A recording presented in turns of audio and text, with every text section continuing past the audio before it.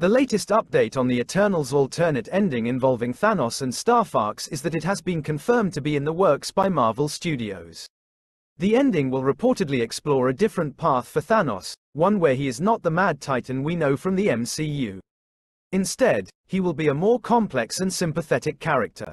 The alternate ending will also feature Starfox, Thanos' brother, who has not yet appeared in the MCU. Starfox is a much different character from Thanos, both in appearance and personality.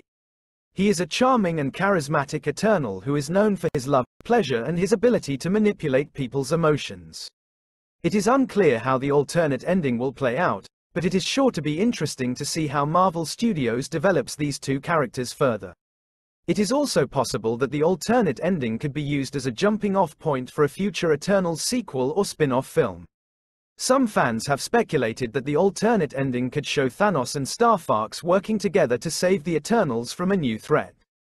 Others have suggested that the ending could show Thanos sacrificing himself to save the universe, similar to what he did in Avengers Endgame.